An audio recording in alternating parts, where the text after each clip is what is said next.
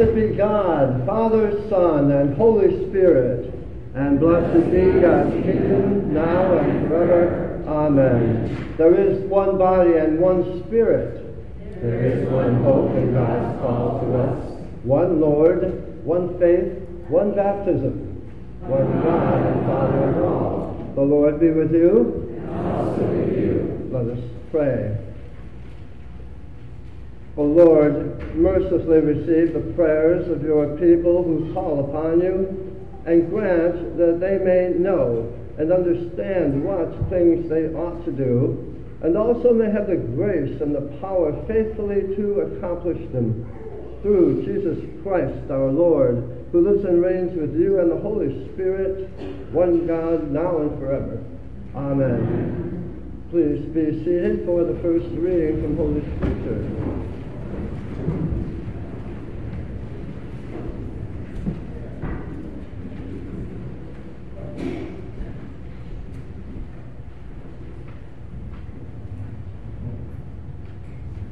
Reading from 2 Samuel. David again gathered all the chosen men of Israel, 30,000. David and all the people with him set out and went to Baal Judah to bring up there the ark of God, which is called by the name of the Lord of hosts, who is enthroned on the cherubim. They carried the ark of God on a new cart and brought it to the house of Abinadab, which was on the hill. Uzzah and Ahio, the sons of Abinadab, were driving the new cart with the ark of God. And Ahio went in front of the ark. David and all the house of Israel were dancing before the Lord with all their might, with songs and lyres and harps and tambourines and castanets and cymbals. So David went and brought up the ark of God from the house of Obed-edom to the city of David with rejoicing. And when those who bore the ark of the Lord had gone six paces, he sanctified an ox and a fatling. David danced before the Lord with all his might. David was girded with a linen ephod. So David and all the house of Israel brought up the ark of the Lord with shouting and with the sound of the trumpet. As the ark of the Lord came into the city of David, Michal, son or daughter of Saul, looked out the window and saw King David leaping and dancing before the Lord, and she despised him in her heart. They brought in the ark of the Lord and set it in its place inside the tent that David had pitched for it. And David offered burnt offerings and offerings of well being before the Lord. And when David had finished offering the burnt offerings and the offerings of well being, he blessed the people in the name of the Lord of hosts and distributed food among all the people, the whole multitude of Israel, both men and women, to each a cake of bread, a portion of meat, and a cake of raisins then all the people went back to their homes. This is the word of the Lord. Thanks be God. The psalm appointed for this Sunday is Psalm 24. It's printed in your Sunday bulletin. Let us stand and say it together.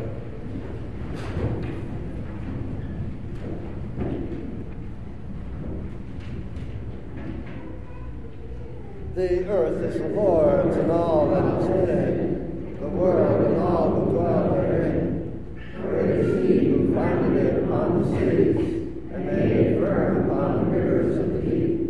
Who can ascend the hill of the Lord, and who can stand in his holy place? Those who have clean hands and a pure heart, who have not pledged themselves to falsehood, nor sworn by oaths of fraud. They shall receive a blessing from the Lord. and a just reward from God of their salvation. Such is the generation of those who seek him, of those who seek your face.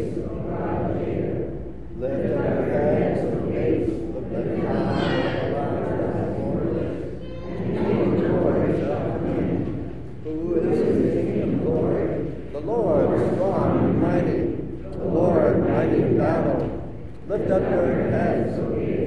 Lift them high, everlasting doors, and the King of glory shall come in. Who is he, the King of glory? The Lord of hosts, he is the King of glory. Please be seated now for the reading of the epistle.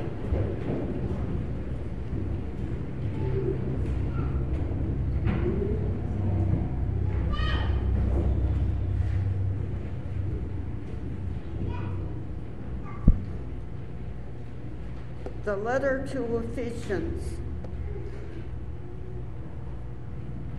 Blessed be the God and Father of our Lord Jesus Christ, who has blessed us in Christ with every spiritual blessing in the heavenly places, just as he chose us in Christ before the foundation of the world to be holy and blameless before him in love he destined us for adoption as his children through Jesus Christ, according to the good pleasure of his will, to the praise of his glorious grace that he freely bestowed on us in the beloved. In him we have redemption through his blood, the forgiveness of our trespasses according to the richness of his grace that he has lavished on us. With all wisdom and insight, he has made known to us the mystery of his will, according to his good pleasure that he set forth in Christ as a plan for the fullness of time to gather up all things in him things in heaven and things on earth.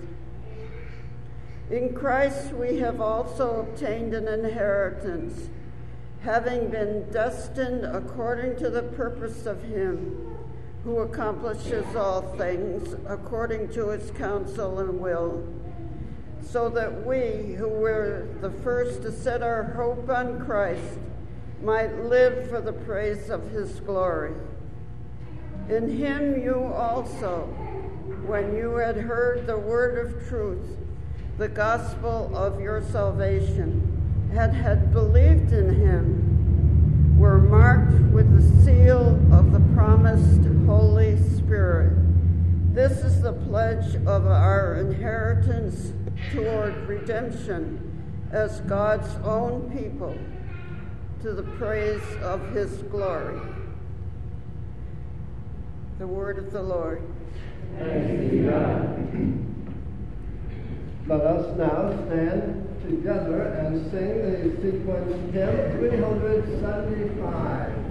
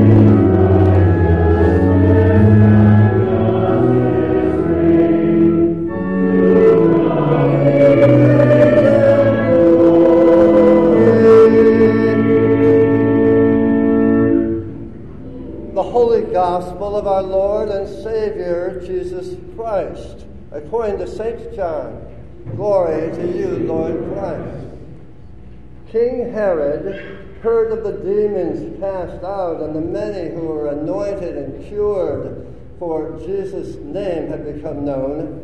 And some were saying, John the Baptizer has been raised from the dead, and for this reason these powers are at work in him. But others said, It is the prophet Elijah. And others said, It is a prophet, like one of the prophets of old. But when King Herod heard it, he said, John, whom I beheaded, has been raised. For Herod himself had sent men who arrested John and bound him and put him in prison on account of Herodias, his brother Philip's wife, because Herod had married her. For John had been telling Herod, It is not lawful for you to have your brother's wife. And Herodias had a grudge against him and wanted to kill him. But she could not, for Herod feared John, knowing that he was a righteous and holy man, and he protected him. When he heard him, he was greatly perplexed, and yet he liked to listen to him. But an opportunity came when Herod, on his birthday, gave a banquet for his courtiers and his officers and for the leaders of Galilee. And when his daughter Herodias came in and danced, she pleased Herod and his guests. And the king said to the girl, Ask me for whatever you wish, and I will give it. And he solemnly swore to her, Whatever you ask me, I will give you even half my kingdom. Well, she went out and said to her mother, What should I ask for? And her mother replied, The head of John the Baptizer. And immediately she rushed back to the king and requested, I want you to give me at once the head of John the Baptizer on a platter. The king was deeply grieved, yet out of regard for his oath and for the guests, he did not want to refuse her, and immediately the king sent a soldier of the guard with orders to bring John's head. And he went and beheaded John in the prison and brought his head on a platter and gave it to the girl. Then the girl gave it to her mother. And when John's disciples heard about this, they came and they took his body and they laid it in a tomb. The gospel of the Lord. Praise be to thee, O Christ. Dear God, cleanse our hearts from our violence and from our ways and from our grudges and from all the stuff we hold inside and free us. Free us to be the people you have baptized in your Holy Spirit, to be agents of your love. Amen. Please be seated.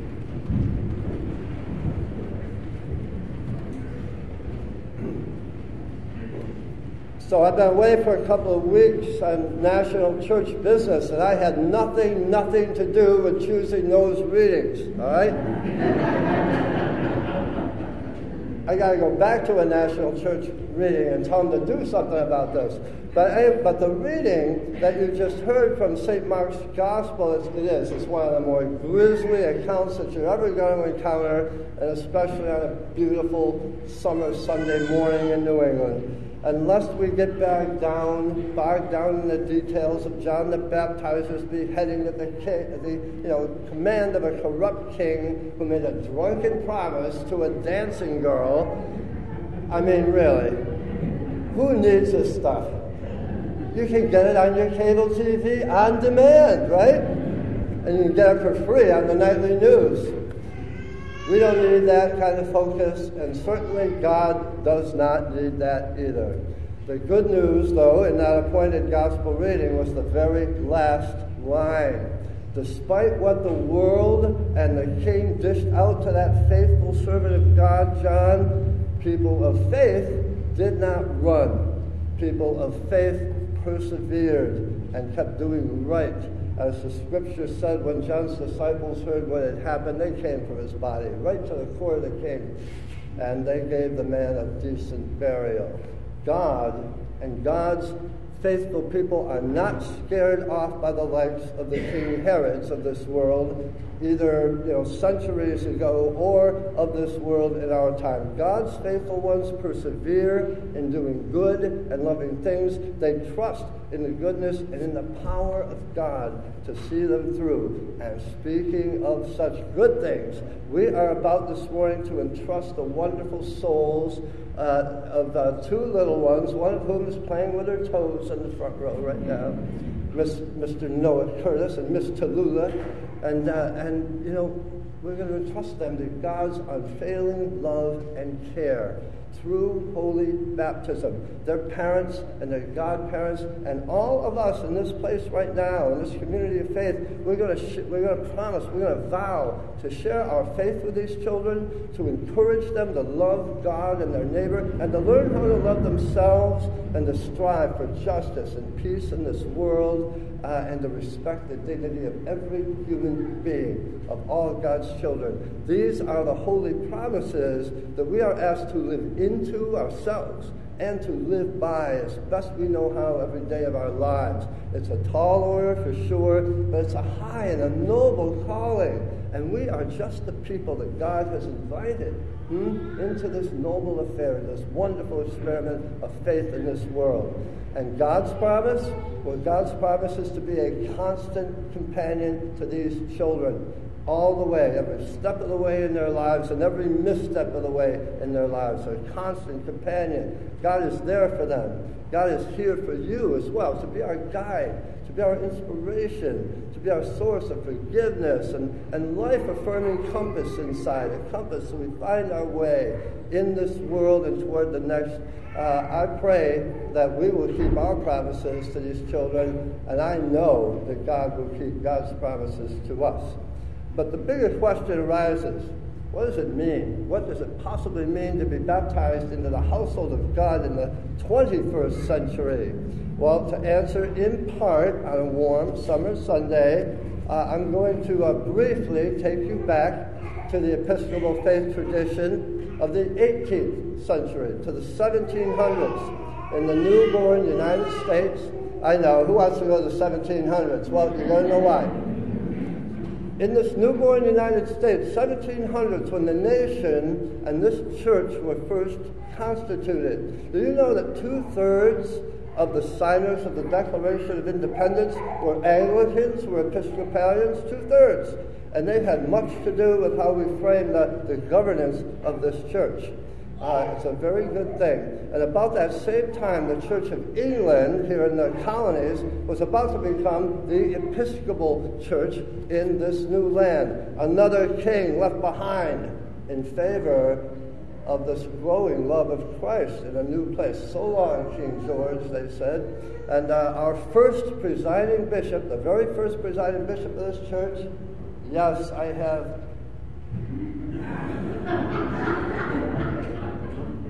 I'm telling you, quite a guy. His name was Bishop William White. He was also the first chaplain to the Continental Congress. William White helped set, the, helped set this church in a new way by insisting that regular people, lay people, you all guys, huh? Not just the bishops, had a say in the governance of the church. That's important. That was a new and very progressive twist in ecclesiastical affairs uh, of the time. He also set up schools in that time for Native American children and for the children of slaves, black children. So, you know, this was another thing we've been talking about at my General Convention uh, two weeks ago that Black Lives Matter. You shouldn't even have to say it.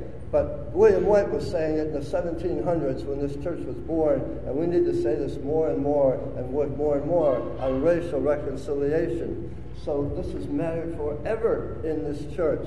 This, uh, this was a, a, a radical idea to educate marginalized kids or any kids hmm, publicly in the 1700s. Bishop White then went on to ordain the first black clergyman of this church in this land, Reverend Absalom Jones, in 1795. This was far, far ahead of its time uh, in this land. And then this church, you know, it, we've always taken a lead position of service to the gospel first before the king or, the, or anybody else, and in fulfillment of our baptismal promises to seek and serve Christ in all people and to love our neighbor as ourselves. Additionally, White set up a school for the deaf and in the 1700s, he set up what is called the Magdalene Society. Mary Magdalene, you remember? You know, the one who really loved Jesus. Uh, it's a society for women in the 1700s, so they had a chance to reinvent themselves after being sorely mistreated by this world, and or who had made some very regrettable decisions earlier in life. He knew, and our church has always known, that God's not finished with us yet. There's always a way, and always a way for redemption and transformation. So so our first, very first presiding bishop was no slouch, old William White. He was a living example of what can be accomplished when we call on God to help us reshape the world and ourselves by God's blueprint when we declare and give ourselves over to serving the people around us the way Christ would serve the people around us. It was that way back then, and we will vow to do this in this very hour. Now, Sarah Ambrosi, your fellow parishioner and lay leader, she's sitting right way in the back row. She, she, she had the great honor of sitting with me and I with her for, what, 13 straight days in, in Salt Lake City. We've been away at, at, the 78th General Convention to the Episcopal Church. It happens every three years in a different city. And the image of William White, who presided at the first General Convention 230 years ago. This was sort of a party gift, except, well, let's just say I hoarded it, all right? They left it laying around and I took it home with us, all right?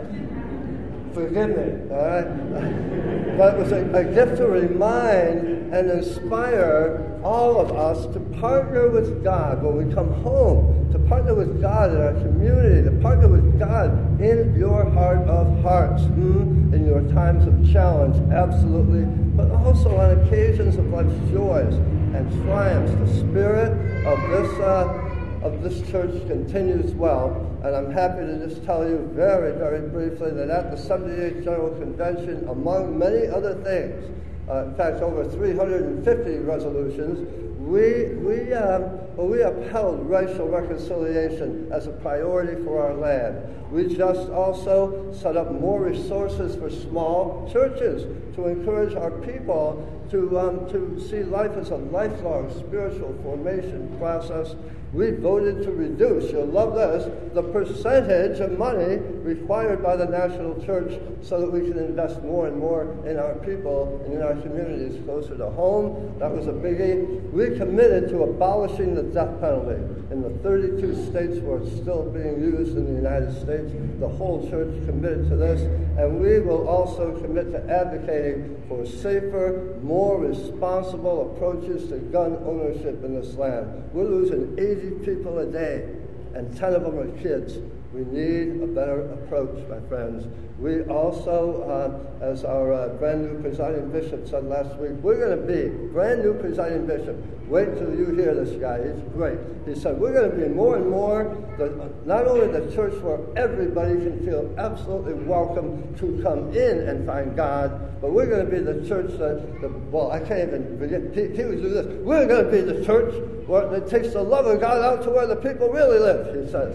And, and you should hear that man preach. It's amazing. You know, when people, everybody yearns for the love of God. We don't keep it bottled up in here. Our baptismal promises, they, they invite us, they compel us to go forth as, as agents of loving kindness. Indeed, the disciples of John the Baptist, they weren't scared off by the tactics of the king 21 centuries ago. In fact, Great help was on the way, was it not? In the way of Jesus Christ, God sends God's Son to take up where John had just scratched the surface, and now it's your time. Now it is our time to delight in God's will, to turn to, to walk in God's ways. Like William White and so many over time, powered by the spirit of baptism to the glory of God, for the love of one's neighbor, for the sake of all our children.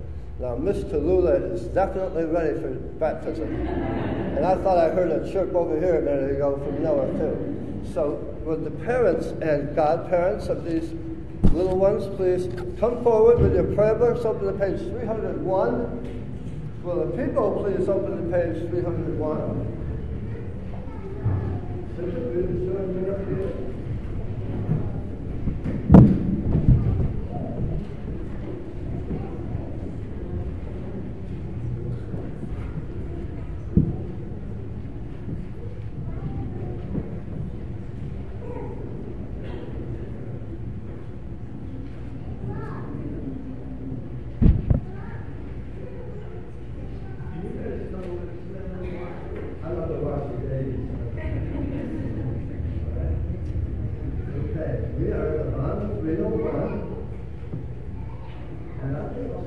Richard Lewis family on the Jupiter at this time. He was in the uh, Toronto Bond the other one. I present to Lulu Dorothy to receive the sacrament. Thank you, and would you all present to the Thank you. Now, the all answer together at the top of 302. Will you be responsible for seeing that the child that you present brought up in Christian faith and life? Will you, by your prayers and your witness, help your child to grow to the full stature of Christ? Do you renounce Satan and all spiritual forces of wickedness that rebel against God? Do you renounce the evil powers of this world which corrupt and destroy creatures of God? Do you renounce the sinful desires that draw you from the love of God? The eternity is Christ and accept Him as Savior. If you put your whole trust in His grace and His love, you promise to follow and obey Him as your Lord. Will the people please stand? We have a vow to make this well for the bottom of 303 maneuver with the state spouse through all in your power to support these children in their life in Christ. Let us join these children who are being united in Christ and let us renew our baptismal covenant. Do you believe in God the Father? I believe in God the Father Almighty, creator of heaven and earth. Do you believe in Jesus Christ, the Son of God? I believe in Jesus Christ, the only Son of Yesus, Tuhan, Kau, Tuhan.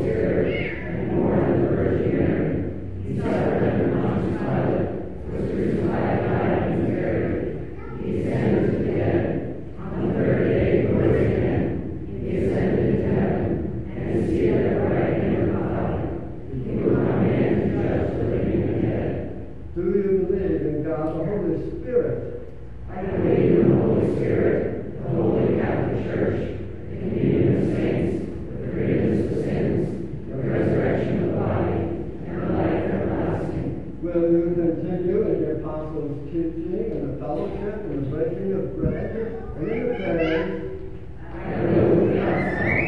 will you persevere in resisting evil, and whenever you fall into sin, repent and return to the Lord. Will you proclaim by word and example the good news of God in Christ? Will you seek and serve Christ in all persons? loving your neighbor as yourself. I will that Will you strive for justice and peace among all people and respect the dignity of every human being? I will thyself. Then let us now pray for these children who are to receive the sacrament in this earth. Deliver them, O Lord, from the way of sin and death. Lord, Open their hearts to your grace and your truth. Lord, hear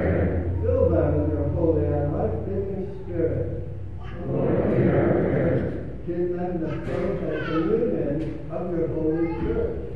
Lord, hear our prayer. Teach them to love others and the power of the Spirit. Lord, hear our prayer. Send them into the world and witness to your love.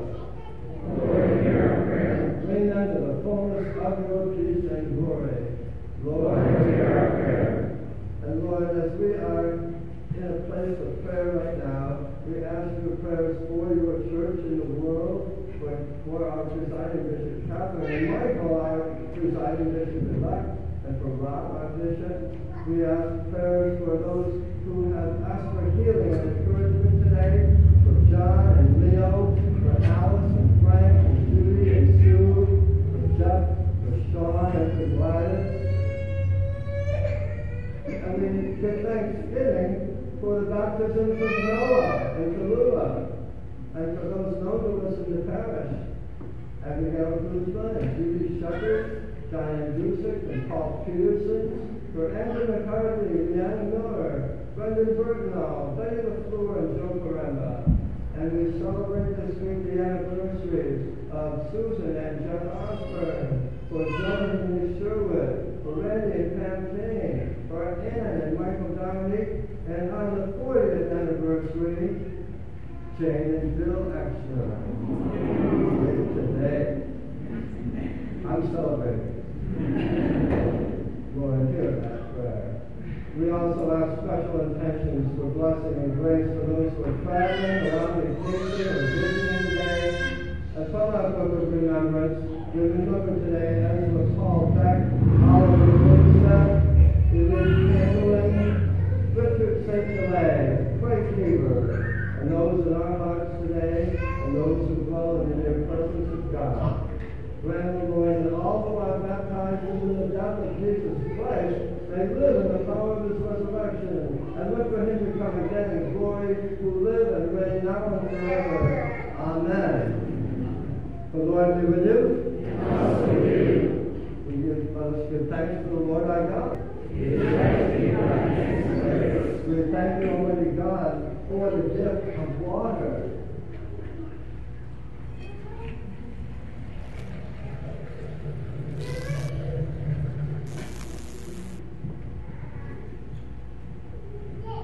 Over it, the Holy Spirit moved in the beginning of creation, and through it you led the children of Israel out of their bondage in Egypt and into a land of promise.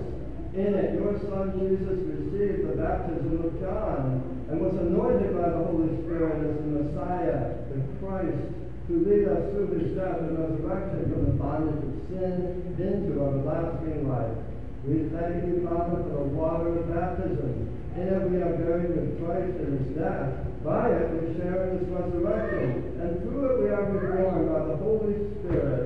Therefore, in joyful obedience to your Son, we bring into the fellowship those who come to him in faith, baptizing them in the name of the Father, and of the Son, and of the Holy Spirit. And now, sanctify this water, we pray you, by the power of your Holy Spirit, that those who are here cleansed and born anew may continue forever in the living life of Jesus Christ our Savior. To him, to you, and to the Holy Spirit, the honor and glory, now and forever. Amen. Who is first?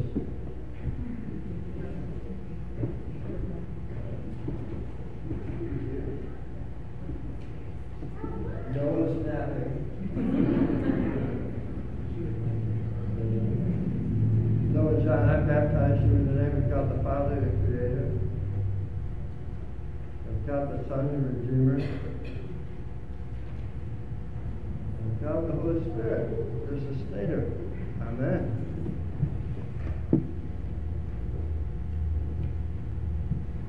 Noah John, you are sealed by the Holy Spirit in baptism, and you are marked as Christ's own forever.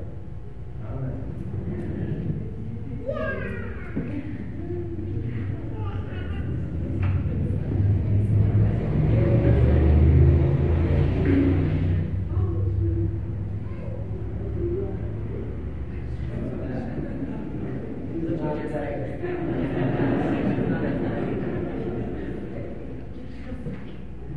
The Lord was, they have baptized you in the name of God the Father, the Creator, and have God the Son, the Redeemer, and God the Holy Spirit, the Sustainer.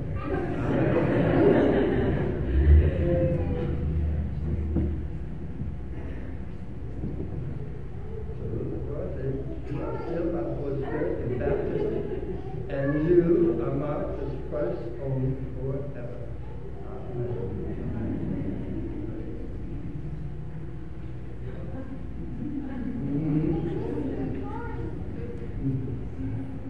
bottom of page 308, let us welcome the newly baptized by saying together, We receive in the household of God, confess faith in Christ crucified, proclaim his resurrection, and share with us in his eternal priesthood.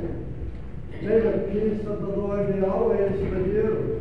And also with you. Greet one another.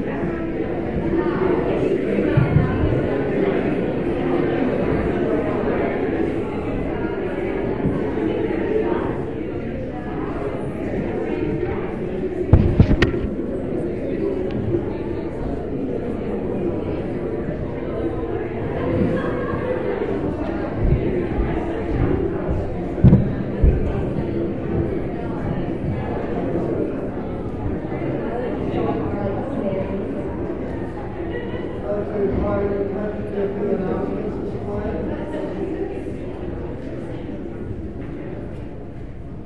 Couple of announcements. Uh, the first is that you're all absolutely welcome, invited to coffee hour downstairs following worship today.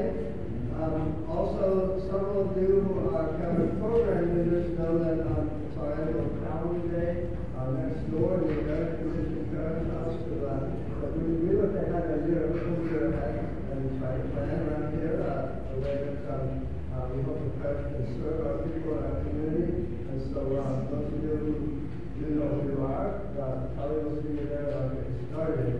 Um, others of us are having an annual Sunday drivers golf, nine-hole golf extravaganza in countryside following worship. Uh, be there at ten thirty. Uh, and we'll, uh, well, we'll see what, we'll see what happens. it's, uh, it's always, always a trip.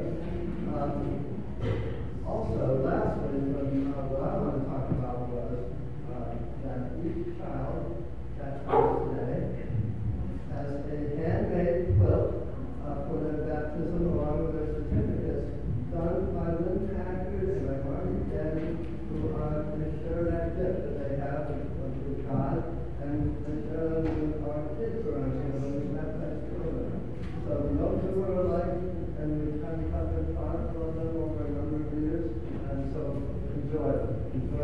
for sure. On the um, offertory hymn is in 706.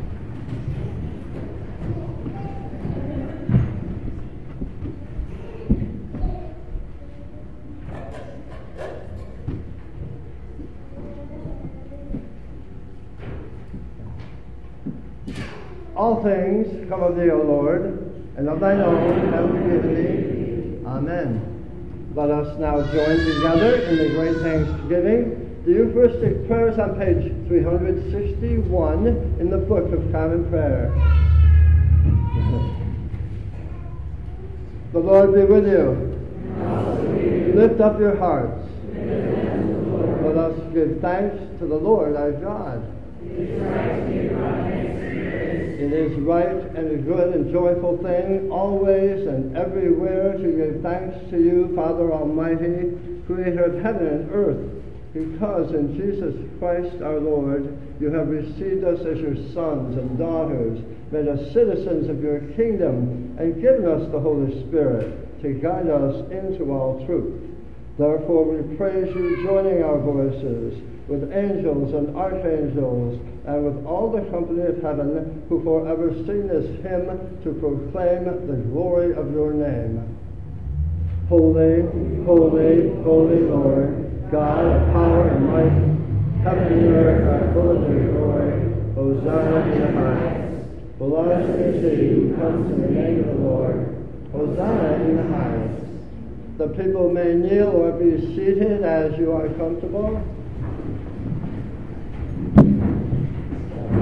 Holy and gracious Father, in your infinite love you made us for yourself, and when we had fallen into sin and become subject to evil and death, you in your mercy sent Jesus Christ, your only and eternal Son, to share our human nature, to live and die as one of us, to reconcile us to you, the God and Father of all.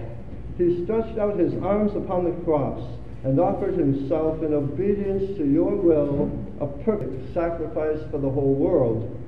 On the night he was handed over to suffering and death, our Lord Jesus Christ took bread, and when he had given thanks to you, he broke it and gave it to his disciples and said, Take, eat. This is my body which is given for you. Do this for the remembrance of me.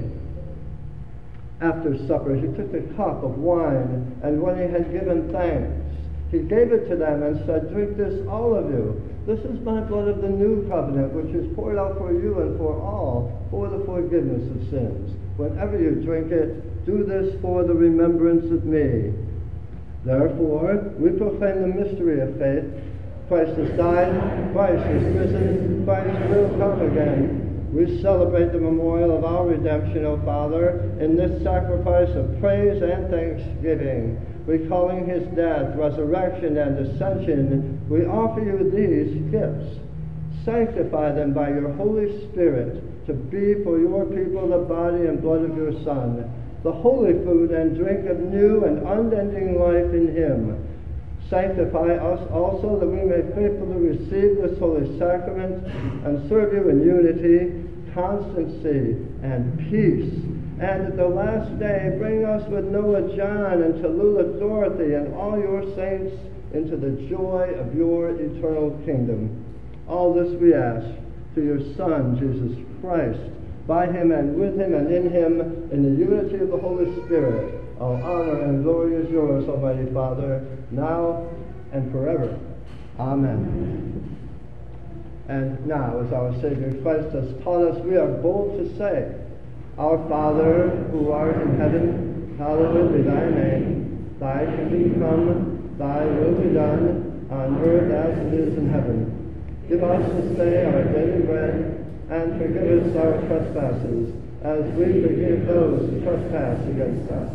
And lead us not into temptation, but deliver us from evil. For thine is the kingdom, the power, and the glory, forever and ever. Amen.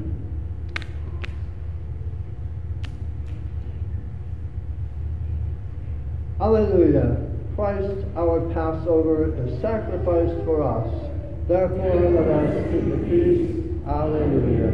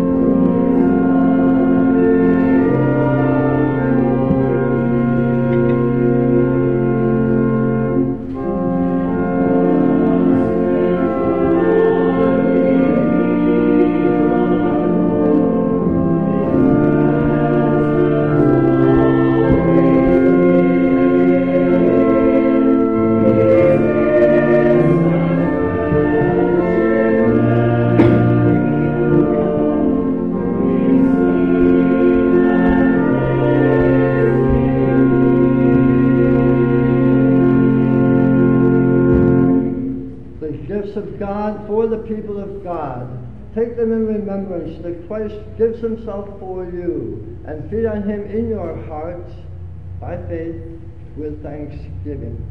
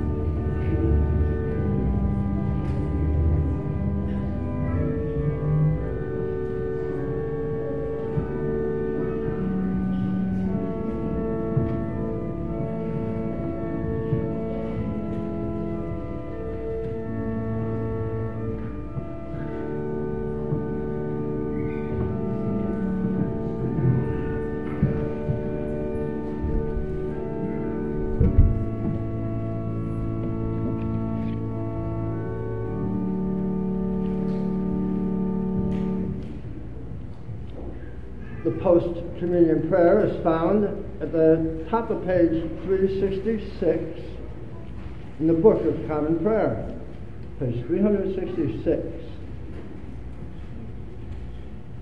And let us pray together. Almighty and ever living God, we thank you for feeding us with the spiritual food of the most precious body and blood of your Son, our Savior, Jesus Christ. Holy mysteries, that we are living members of the body of your Son, and heirs of your eternal kingdom. And now, Father, send us out to do the work you have given us to do, to love and serve you as faithful witnesses of Christ our Lord. To him, to you, and to the Holy Spirit, the honor and glory, now and forever. Amen. And now go forth into the world in peace. Be strong and of good courage. Hold fast to that which is good, rejoicing in the power of God's Spirit. And may the blessing of God Almighty, the Father, the Son, and the Holy Spirit be among us and remain with us always. Amen. The recessional is hymn 440.